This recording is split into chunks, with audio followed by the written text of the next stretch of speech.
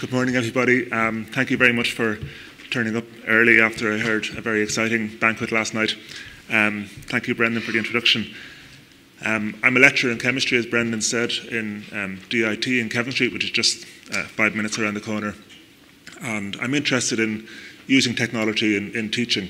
Um, and I've done a, some work over the last few years uh, in, in that regard. So, what I wanted to talk today about is the Flip Lecture. And um, in meeting Dara um, before, uh, you know, in planning this talk, uh, I'm a chemist and, and, we thought we'd do an experiment. And the experiment was rather than me coming in here and talking to you for 40 minutes about the flip lecture, we would actually have a flip lecture. Um, so it, um, it's the first time I've done this, so um, it'll be interesting to see. But the idea was that um, you, as my students, were to watch um, a video before you came to the lecture, and then this time we have together will, will be much more open, um, discursive uh, platform, just as a real uh, flip lecture um, is, is, supposed to be. So the idea really is that you are going to experience a flip lecture um, for the next 40 minutes um, and hopefully see for yourselves some of the pros, plenty of cons, um, and then from your own perspective, uh, bring it back into your own practice, either as uh, somebody who's teaching directly or somebody who's supporting um, students or lecturers. So, hopefully, um, the intended outcomes are we'll have you leave here with some idea of what a flip lecture is, which I think would be the main outcome if I was to just talk to you for for um, the next 40 minutes. What I'd like to tease out more, though, is obviously this is a much more diverse audience than I'm used to speaking to. I'm used to speaking to an audience of academics about this kind of thing. So we all have a very single mindset that is, the students are lazy and have to do all the work, and we're amazing, and just you know, that's that, that's that's the audience I'm used to. So you may have to bring me down a little bit. Um, but what I really am hoping to get is uh, in the discussions we have. Um, uh, I think somewhat talk about the opportunities. Um, I think we'll start off with that just to say in our minds um, how, how, good we think this is uh, and, and what it's, whether it's worth the effort. But I think much more importantly are the challenges that this approach brings. So uh, I'm interested in your perspective on that. Um, and um, talking about how we can deliver this content. I, I, gave you a video on YouTube that you had to watch. What are the what are the options about delivering this content? What kind of things should we think about? Um, and I think this audience in particular will have a lot of insight in that regard. And hopefully you'll leave here and have some thoughts about if I was to implement this in my role, either directly as a lecturer or as helping somebody support this, uh, what kind of things do I need to think about? Okay, so last night I did a screen grab, and 202 people had watched the um, video, uh, which explained um, what flip lectures were, the idea of flip lectures, my own implementation of flip lectures, um, and, and, some of the analysis of that, and then some questions that were to lead on into the um, presentation. So I'm going to look around the room now, and I, will just tell you, if I was asked to watch a video before a conference, I wouldn't. So um, but I do need to know because we're at a critical juncture now. I do need to, and you can just, if you don't want to show off and be the A student, you can just kind of put your hand up here like this. But I do need to get a sense from the audience as to whether you did watch the video. So if you could just raise your hands. You're all SWATs, A students, A students. Okay, that's good. So, um, from the point of view of, of organisation, what I would say is that this is, I, am guessing that more than half the um, class I've watched the video, which, which means what we're going to do now is feasible. If that hadn't happened, I guess I would have had to go back to some traditional chalk and talk and maybe just given you a brief overview of what was in the video. I should say that the students down the back of the class uh, didn't generally watch the video, so um, we're, we're, you know, and, and you were late too. Um, yeah. Okay, so we're going to have three um, breakout sessions. I have 10 minutes here, but I just said the timings and they'll have to be about eight minutes. But the idea will be that um, what I want you to do in, in, a large lecture theatre, one of the criticisms of flipped lectures is it won't work in large lecture theatres. and I want to show you some of the ways that we could maybe get around that. Getting students in groups of three in large lecture theatres is very beneficial because it means nobody is left out at either end. The three people can talk together in a little huddle.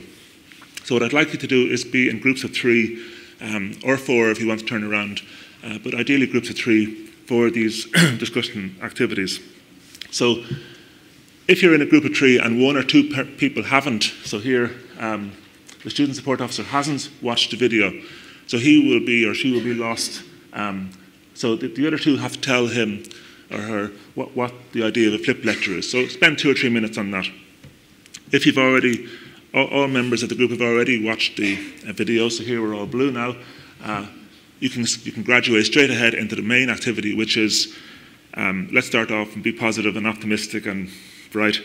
What are the opportunities do you think the flip lecture approach, uh, approach uh, has? So I'm going to time it for about 10 minutes, and after 10 minutes, we'll get some points back from the audience. And I, I'm really keen to hear points back, especially from your perspective from your own role in your own um, environment, uh, what, you think it is. In other words, I, I, know all the great things about a lecturer being flipped, um, about the flipped approach. I'm interested in the other, other areas too. So if you can wear your hat as whatever your role is in your current position, that'd be very beneficial. Okay, so 10 minutes, off you go. Okay, so I'm going to uh, call a halt there. Are we students? Shh. I have to not be polite when talking to adults and just treat you like my students.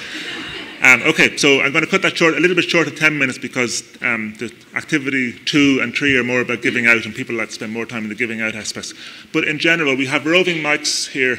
Um, does anybody, uh, what, what, I'd like is basically a couple of points from the audience. If you could just maybe say your own perspective, whether you're a lecturer or student support officer or something, and one or two things that your group thought um, was interesting. So, who wants to start? Be brave. Um, the group that the microphone is standing beside, so the grey T-shirt with the yellow, the yellow, um, just to your, yeah, you, yeah, you know, you know it's you, you know it's you. Just here, sorry, to your left, to your right. Uh, I was uh, one of those that haven't watched the video, uh, so I should sit in the back probably. Uh, but I did get it explained, and uh, it sounded great.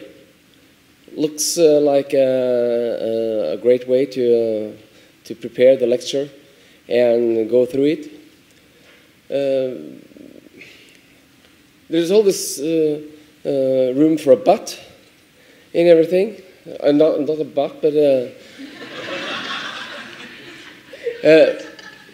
if uh, the students that I work with uh, in Norway are students that they're not confident and uh, showing up on the lecture could be could be hard, and maybe if they um, wasn't prepared they still would show up because there might be something there for me. But if they knew that they I'm just going to cut you short there because they, they, are. There's two points there that I want to bring up in the next section. So just just to preempt that, because we're a little bit short on time, I just want to get some other feedback. But there are two points that I really wanted to pick up on. So thank you. Yeah. yeah. And any other any other comment? Yeah, here. Hi, Emma Murphy. I'm a postdoctoral researcher in DCU and I, I teach as well. Um, so we were thinking that, that it's really it's a UDL way, this flipped classroom, because uh, students can process the information in their preferred modality at home. So when they come into the lectures, they can participate, they can work with the lecturer. The lecturer will have more of an idea of the challenges that they face with the material, but importantly, they've been able to set it up you know, read, hear, whatever way they want to interact with the material, they can do that at home. So yeah, so we we really thought that it was yeah, it's the it's it's definitely supports UDL. Okay. Um, thank you. When Dara asked me to speak for this, I said I don't even know what UDL is, and he said, "Well, this is doing it." So yeah, that, I think that kind of that kind of um, mirrors stuff. I, I had um, on my um, on, on my um, website. I, I, put up these questions that I was going to ask. I said I, I was going to ask, give this talk, and um, uh, I was terrified that nobody would give any answers. So I asked people, could you, could you put comments up as to what you think the answers could be? these are answers from other educators. So if you go to that website, you'll see the first post there. there's a lot of commentary there if you want to either read it or continue on that discussion. Um, but just some I'll, I'll highlight. Uh, the first one is um, a sc school teacher um, who is using it to flip her um, uh, chemistry classes. Um, so she's talking about student inclusion. She, especially, I think it's on the next slide, she mentions um, uh, especially beneficial for students with dyslexia um, and the very broad range of students um, that she has in a school classroom. She finds it very beneficial. Um, somebody with a management background uh, mentions about greater efficiency. That's something we'll talk about later, maybe. uh, I like this one. We are just fixed with this notion of having to shoehorn um, our lecture content into 50, nice 50 minute blocks, um, which just because the timetable says so, um, but it gets around that. Um, people to work in teams, de emphasises covering the material. Uh, one lecturer who's just um, um, beginning to do this this year said it's challenged him to redesign the course. So he's really thinking about, well, actually, how, in terms of curriculum design, how am I delivering this? Fits better with the information is everywhere age. In other words, we're moving from a situation where um, information isn't king anymore. How to find information and use information is. And this is that school teacher again um, who mentioned um, students with dyslexia. Okay, so that's the good thing. And I should say I'm not particularly a strong advocate of flip lectures. I do believe they have potential, but uh, you don't feel don't feel you don't have you're not offending me if you say bad things about it, um, which is the next part. So for this second activity, um, we're going to be a little bit more pragmatic. And in the actual implementation, and I've, I've already heard some feedback and some comments here um, about the challenges uh, that this approach will take. Again, from your own approach, what do you think the challenges to this um, approach are, and be ready either to respond to how you may deal with those challenges, the ones you raise, or if somebody else raises one in the feedback, how you might ha have you any ideas for that? And again, I, I have some thoughts from my own practice that we could use as well. So off you go, 10 minutes. Okay, so we'll, we'll uh, resume back now. Students,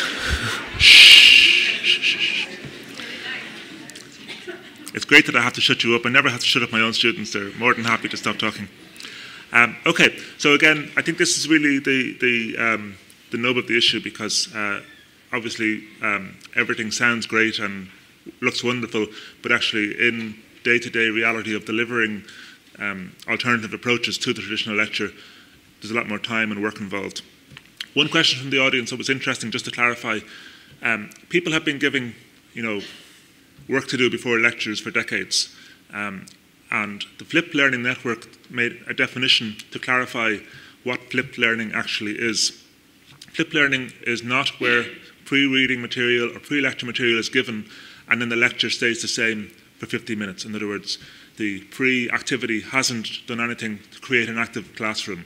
Flipped learning is where you are using the pre-lecture activity or pre-learning material to radically alter what's happening in the classroom. Hopefully, just like we have radically altered a typical conference presentation here, where you're actually allowed to do some talking. So I think it's just an interesting um, dynamic because very often people will say, "Oh, I've been flipping for years," and maybe they have, but it, it, it involves the changing of the classroom as well as pro providing the material beforehand. Okay, I, I, just can't hear when the microphone is. Um, uh, when people are talking to the microphone, so I'm going to wander around as well so I can stand close. Hopefully, this should work. Um, so who wants to say some challenges? I feel like a game quiz game show. Here we go. Yeah. Uh, thank you very much. Uh, I'm Kjetil Knalag from uh, Norway. Uh, we work. Uh, I, I, also flip my own classes when I teach about universal design, which I um, uh, do sometimes. And what I see as the main challenge is that the the risk for for uh, that the, it's, it's being crap altogether. Because if you have an ordinary lecture, you can read your audience and you can change at, at the time. But if you, if you make a bad flipped classroom, I think it's even worse than making a bad uh, lecture. Uh, the risk is higher and you have to be a very good communicator and you also have to be able to read the group very well. And uh, that is very difficult for some and I think that the flipping the classroom is not for everyone. Yeah, so I think just to reiterate the point, uh, if it goes wrong, it can essentially go very wrong. Yeah, um, it's interesting. One of the things, um, clickers, I think, have done huge damage for education innovation because people were sold clickers as this amazing thing that was going to radically change everything, and then lecturers bought into this and they hauled around bags of clickers every classroom, and they didn't work or they didn't, you know, they were oversold. So yeah, I think we do need to be realistic about what the uh, approach can have. Um, uh, probably doesn't need training or some sort of format. I think th the appeal of flipped lectures is that it does provide some kind of overarching structure. Of course, there is a professionalism in there on the part of the lecturer, but um, yeah, that's a good point, one I hadn't thought of. Any anybody else? Yeah. Hi, I was going to uh, Trevor from DIT. Uh, just say that I think the learning space can probably be a barrier at times because uh, just knowing the seating in DIT, sometimes it's fixed spacing and a flexible learning space would definitely lend itself. So like a space that simply has chairs that can move around so can accommodate the group work would lend itself. So I don't know if that's been a barrier in your own experience. Yeah, so uh, uh, one of the things we were keen for to do here was to keep the uh, arrangement. Uh, they were very kind and we're going to actually make little group tables and things, but I wanted to keep the arrangement to show that it is possible to have group discussion, get around to the um, people in the lecture theatre. Now, I, I, teach in a tiered lecture theatre where, um, I mean, sometimes I'm climbing over seats, kind of getting around. it, it, it is a barrier. Realistically, lecture theatres are still being built, even though we know all these issues, and they're still being built in traditional ways, so it's probably not one that we're going to overcome. That's why I think the, the groups of three work well. Uh, people like Eric Mazura doing things like peer instruction, where it's formalizing um, uh, in-class work. Clickers there I mentioned obviously allow somewhat some kind of feedback from the from the audience as a whole. But yeah, it's certainly an issue to consider. Yeah. Hogging it down this side. Um, I'm, an, I'm an international student. I paid a hideous amount of money to come to England to get a degree. Um, I expect to be lectured, but you're now saying to me, I've got to do all the pre-reading. I come into the class and then I sit with my colleagues who know about as much as I do, and we talk about something. Where's the value for money? Yeah, no, this is a very, um, a, a very commonly raised, not, not from my students, but this is a very commonly raised um, uh, criticism, I think, of any alternative method to teaching the masses. Um, and uh, it's a case, I think, personally, I think it's a case of sticking to your guns and, and um, showing by doing. In other words, showing to that student that you're actually getting an output, uh, explaining the broader skill set in terms of group discussion, group presentation, or whatever you're building in. Um, but yeah, it's definitely. It's, I think international students, especially uh, when people are paying, there is that there is that perception that they come to be taught. Um, but I think I suppose it's a case of explaining the difference between school and university. I'm going to keep talking while I walk around the other side of the room. One comment. Um, was um, was in, I just it just left my mind. So um, no, it's gone. Anybody anybody over? Yeah. Um, I'm a lecturer, but also disabilities uh, coordinator. Um, this didn't come up in our little discussion, but um, just thinking about uh, students who are maybe on the autism spectrum, you know, students who don't do well in groups, maybe not necessarily on the autism spectrum, but uh, uh the type, the learning style might not work for um, a fair number of students. And so I'm thinking about how you might get over that. So you mean learning style in terms of that they don't like talking to other people? Right, difficulties like um, interacting with other people, uh, especially on short notice or just for a very limited period of time, and pressure. I mean, in my own case, I have students who just will refuse to um, for shyness or other reasons don't like that. It's not something I'm going to force. I'm not going to force them to, you know, I'll, I'll, encourage them to sit together, but I'm not going to go to one person in the room and say, you must go and sit with that other person. If they're happy working through, like in my work, I give them problem sets and we discuss that. If they're happy doing that, for me, that's okay. Uh, perhaps I should push them a bit more, I don't know. But um, in general, the, the, the, the, lecture just flows along. People are working groups of three. If someone's working on their own, they're still doing work. For, for me, that's okay. I'm not sure that's the right thing, but that's what I think. Yeah. We probably should go on any, any burning. Yeah, yeah. Determined that I'm going to speak. um, just to say, in fact, Jerry actually brought up the same point as this gentleman, and he mentioned it in relation to uh, students with Asperger's in particular, that they might find that very difficult in a group situation if other members weren't contributing or say they didn't arrive on time, they didn't do their work, you know, and there was a lack of control in the situation. Also, and maybe to think about the assessments. How do you meet your learning outcomes? Do you have to start rethinking how to do that um, if you're using this particular method and you're using it a lot? And also the amount of preparatory work for both the lecturer finding all of this material and to put up in advance for the students to engage in, and also for the students themselves, because they have to engage pre the lecture and then also work their way through. Thank you. Thank you. That's a really succinct summary. Um, on the preparatory material, that's actually the point I wanted to raise. We were discussing over there a kind of a low cost version that people do. I obviously make screencasts purposely for my lectures. A low cost version of that is where somebody records their lecture from the previous year and then the next lecture they use that recording as a flip lecture. It's not ideal, but it's certainly the first um, step.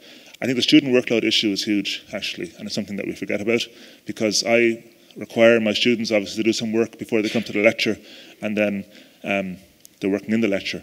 What I tell them is that each module has a certain number of learning hours, and what I'm doing is structuring their study time. So this is time that they would have hopefully have spent studying after the lecture, but they're doing it beforehand now. On the assessment, um, we'll talk about this. I think the I just have it here. So these are just I'll, I'll just hit some more of your points as I go through this. Um, so yeah, large classes are one issue. Um, the potential student workloads. Uh, so on the assessment, what I do is I give students, after they watch the pre-lecture activity, they do a quiz, and that quiz, the combination of all those quizzes are worth 10% of their module. And the final question in that quiz is, what did you find difficult about the content this week? And then we can build that into the, into the lecture. So it's awarding some value towards um, their, their, their pre-lecture work. Um, a little bit late on time, so keep going. Um, yeah, so uh, again, this is an educator talking about the tiered lecture theatres, but then somebody else came in and said he was able to do it with 150. So uh, I, I, think it's it's probably comes back to your point about um, about uh, training. Okay, in the final, we won't have 10 minutes, I'm afraid. But what uh, I obviously made a nice screencast. There's you know good principles about e-learning design and so on. What kind of general issues in maybe about um, four minutes? What kind of general issues do you think? Um, we should consider in rolling this out. In other words, it's not just the pre-lecture material, there has to be a whole suite of um, um, delivery um, in, in, terms of bringing this to students. If you were to implement this, what kind of activities do you think, or what kind of um, resources do you think the students would need? Um, and I think particularly from your perspective in this audience, uh, what, what, kind of things do you think we should consider? So I'm sorry, we're a little bit late on time, but if we go for maybe four minutes um, chat and then we'll have feedback. Okay, just because we're short on time, I'm afraid I'm going to have to cut that um, short. So, what I wanted to show you is here, just these are some of the resources that I would um, use, and um, I'd be happy to discuss over coffee anybody um, later on if you want to um, inform me of some alternative approaches, I'd be very glad to hear them. Um, obviously, the whole idea of flip lecturing is that it's built on in-class activities, so we need to decide what the students are actually going to do in the class. Here I decided we're going to have three breakout sessions where you would talk about things. We need to think about, well, how are we going to make sure that people are talking about things and not the banquet last night? Uh, that's something you're going to have to build into the design. Um, peer instruction, I mentioned, is something that um, Eric Mazur has championed. This is essentially where you have structured activities where the students talk to each other, um, trying to uh, inform each other about a particular topic or people do group work, group presentations. In order to facilitate that, we have to have some kind of pre-lecture preparation. You can use either prepared screencast or a lecture recording, as I mentioned.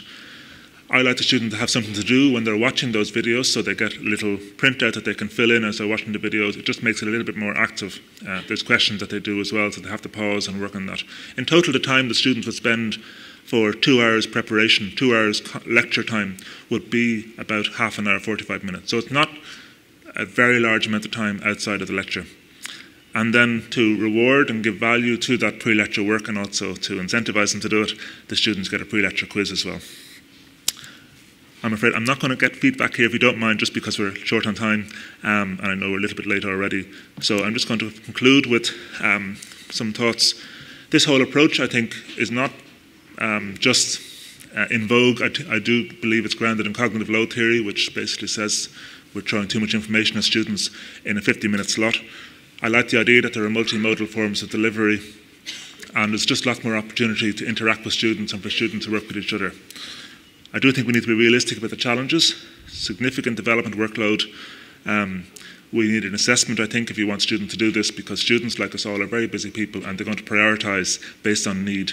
And if you do not um, uh, reward this work with some form of assessment, it's unlikely that people are going to engage. You are all amazing students because you all engaged without any reward. Uh, and I think the point of a student workload is one that's forgotten, but um, we need to consider. If you want to have a look at my website where that conversation is ongoing, please do. I'd be delighted to, um, to share any more thoughts there or hear your thoughts. But other than that, I'm, um, I've got one minute, 20 seconds for questions, so thank you.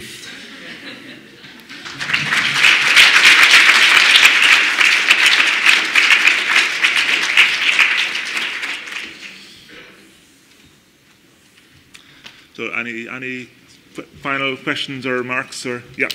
Uh,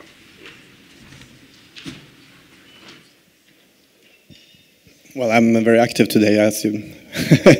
um, a friend of mine he is teaching basic uh, ICT at the University of Trondheim, and he flipping a classroom with 300 students. And he says that, well, what, what actually happens is that um, a lot of students, they, they just don't show up. Uh, they are unprepared and don't want to get part of these discussions. And what he is telling me is that, well, he really want to be uh, to have 40 or 50 of these students to be very, very, very good students. And uh, if the rest is average, well, they are just average. They can have the basics material. And he continues to flip, and, and uh, the quality of the 40 students present is very high. And the rest of the students, well, perhaps they will pass and nothing more than that. And I think that's a very important uh, perspective to, to have in mind what, what actually happened when we flip such a big, big group.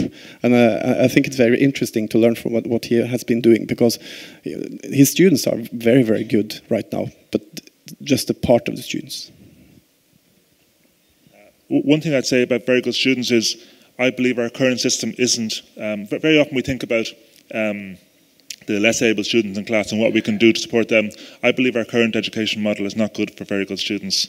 Um, they're, they're, come through, uh, and this, um, maybe I shouldn't be on the record here, but this idea that students, um, that, that learning in university is different to learning in school, really, when you look at exam papers, it isn't. Um, and I think we need to be honest about how we can challenge very good students as well as support students who need, need a little bit more attention. Okay, I should probably pass over to the next speaker. So um, thank you very much, everybody.